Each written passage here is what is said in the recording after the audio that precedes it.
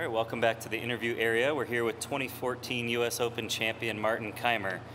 Uh, what's it feel like to be back on this property? You were just telling me you hadn't been back here since your win in 14.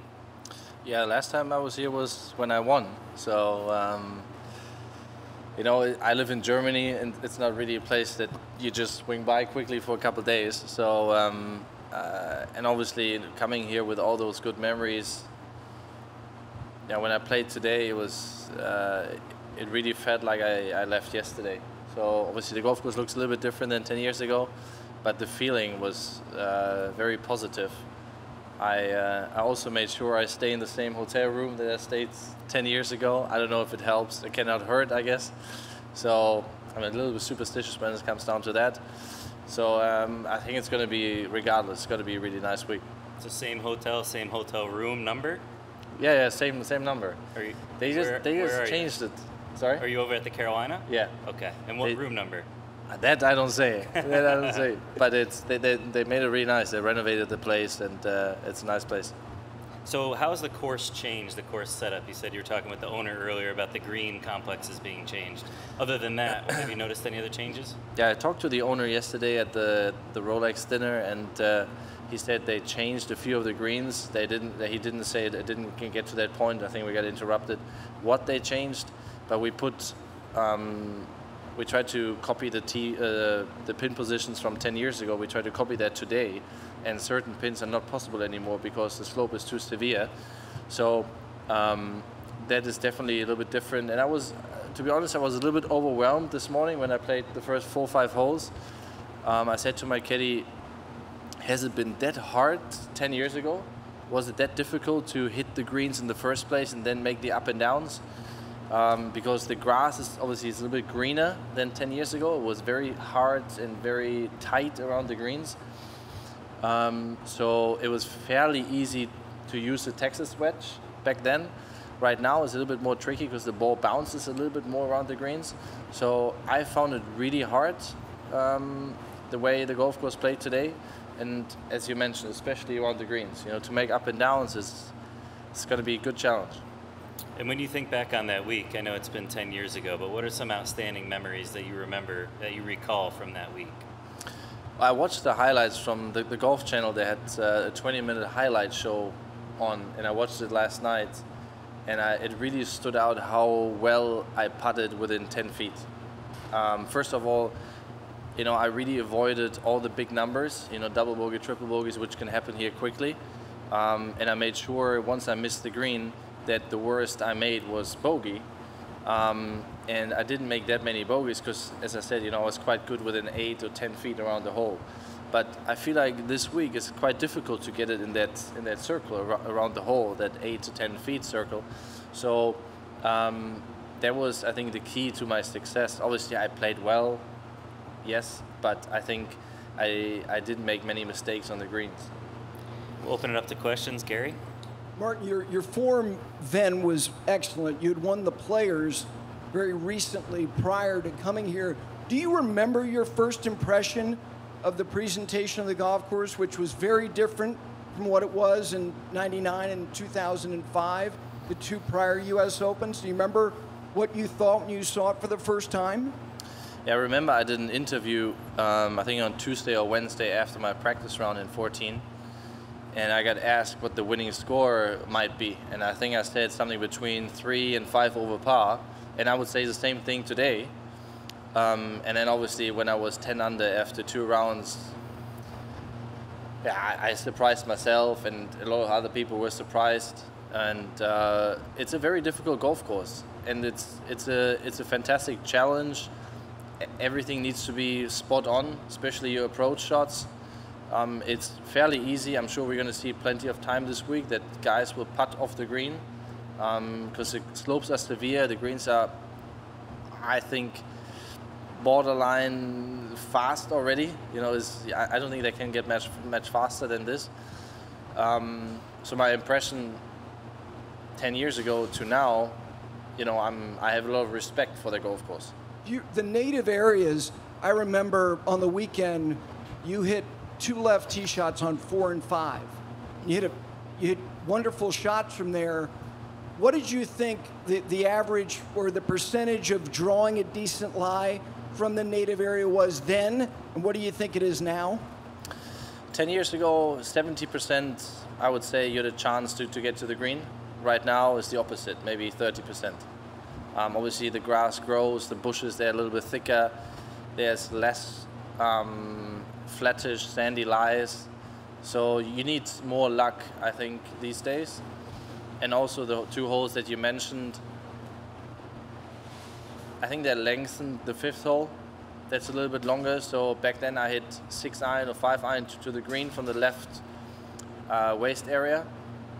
Now I don't see anybody hitting five irons there unless your name is Bryson DeChambeau. Um, so that has that has changed, but the you, you need more luck, I think, these days. Uh, down to your left, Mike.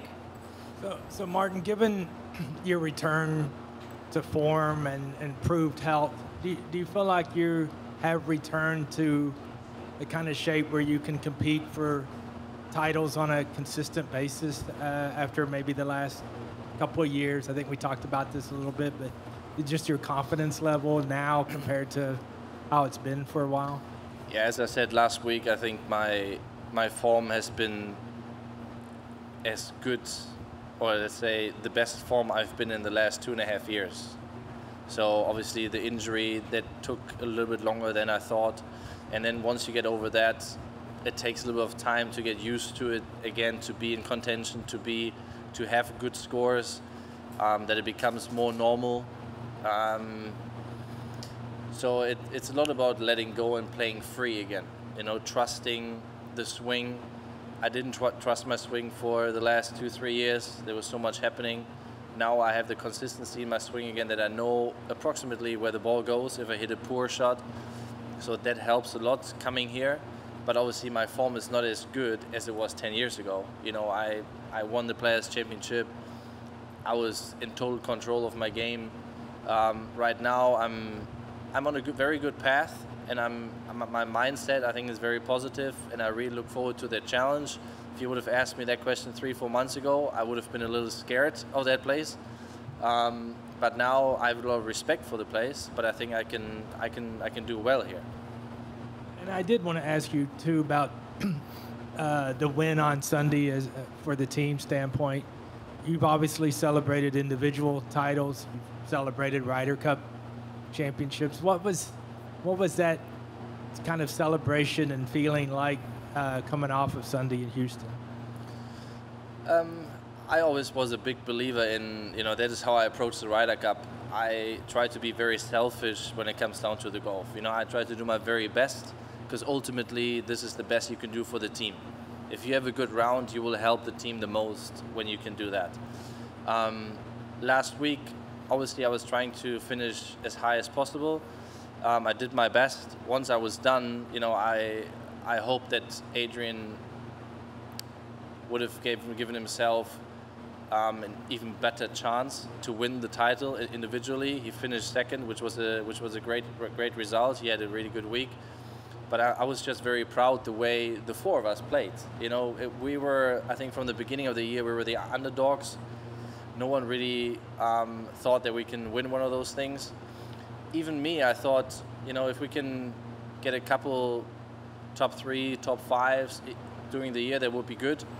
But then how, you know, the way Adrian played, the way Richard, when he won the PGA recently, we were all in a good mood and we're all trending in the right, in the right, in the direct direction that we want to. So I guess it was just a matter of time.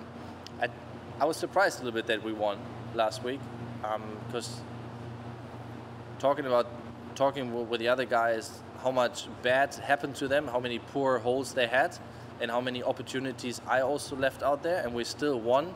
That was the best sign that we could have gotten moving forward. So that was a nice feeling, and you know that was obviously this is what that tour is all about. You know that that team spirit, and that is a nice part of the yeah I guess of the game of golf that we can play both team and individual. Did you and Adrian fly up to Pinehurst together? Sorry. You and Adrian come to Pinehurst together. Yeah, we wanted to fly out Sunday, but I think now talking to Scotty Scheffler, Bryson, um, and a few other guys. It was a good thing that we didn't fly out Sunday because I think it was very, very bumpy coming in here. So, and I'm scared. You know, I, I don't like flying. So we took a flight uh, Monday morning um, to Raleigh and then drove drove down here. Thanks. Thank you. Oh yeah, in the back here, Ben.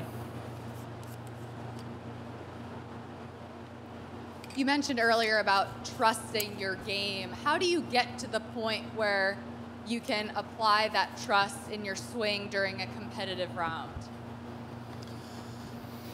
Um, obviously, every shot you are trying to hit, you have a plan, and how many times does it actually happen? You know, is very rare. So this this I would call the perfect golf shot, and we don't do many of those. But the bad ones, they're not as bad as others. So if you can, if you hit the ball the way you want it, and the trajectory comes off the way you want it, um, you control the spin, you control the ball flight, then confidence will come. And then the next step would be the results. Then you need to see good results. Once you have those two, two parts, control over the ball flight and the strike of the ball, plus the positive results, then you just need to wait until it feels comfortable and you don't doubt yourself as much anymore. Um, and then it's just a matter of time, I guess. You also mentioned you and other players talking about being so close, but the results not always matching. What are the challenges mentally when you feel your game is trending, but you're not having the results that you want? I believe the biggest challenge is that you should not compare yourself to others. It's very easy to see the other guys having good results, winning events, and you know if I should have, if I would have avoided this and this mis- mistake, I would have been there. You know, you always go down that road that uh, if I would have done this or that. So I think comparing yourself to others and what you are capable of doing, this is the wrong way of approaching it. I think you really need to see the facts and stay in the stay in the moment where you are right now, um, and yeah, just keep keep believing that eventually it will happen. But in our sport, you know, it's so fast living. Next tournament uh, the week after, and then everybody has forgotten about the week prior um, before that. So you're always on, on, on to the next. It's very difficult staying in the moment and being present in this in this job. I think. We do have one question from our Cisco WebEx here. Um, much was much was made about how much you putted off the green during your championship week in 2014. Is that still the game plan, or has that changed at all with some of the new surrounds? I mean, again, you know, back then I felt okay chipping around those screens, but I really wanted to avoid silly mistakes that led to double bogeys. So that's why I putted off the greens. This week, it might be a little bit different. You, I might be chipping, I might be using the rescue a little bit more often, or the hybrid um, around the greens because of the length of the green. Uh, the grass is a little bit higher, a little bit thicker, so it's not as tight as it used to be. Um, it depends a lot on the situation. Back then, it was never really a question for me. I took the putter and I did what I did. You know, I tried to get it within within eight, ten feet, and then hope to make the par. So this week, I might approach a little bit different.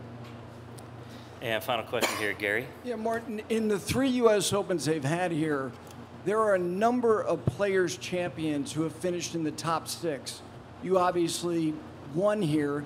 Tiger has a second and a third. Phil has a second. Sergio, Adam Scott, Tim Clark, Hal Sutton, Davis Love the third. Is that entirely coincidental? Or is there something about these two golf courses that don't look anything alike that have a similar approach? Which golf was this one? And And the players, the stadium course. um, I think it's about the difficulty. It's really about the difficulty of the golf course. Sawgrass is also, in my books, obviously you need to hit the fairways, but the second shots are very important. Um, is it a co- coincidence? I mean, you, you name great players, by the way. You know they know what, what No they're doubt. doing. Um, I, I think it comes down to the difficulty. You know, great players they can they can they believe fir- first of all in their ability of playing well on tough golf courses. This week, maybe 50% of the field don't believe in themselves that they could do well here because it, it, it is a scary track. You know, it's, I said to my caddy earlier, mentally it's such an important, such a funny approach this week because you want, usually you go onto the putting green and you try to make birdie, you try to make the putt. Here, almost it creeps in that you want to avoid the bogey, avoid the three putt because a lot can happen. So, and th- this is a strange thought. This is a new thought. And I, I talked to a few players, and a bunch of them, they have that thought, avoiding the bad. Um, and I think great players, the, the guys that you just mentioned, they have that positivity and that belief every single course they play. They don't have that doubt. So I would break it down to class of the players. All right, great. Well, thank you, Martin, and good luck this week. Thank you very much.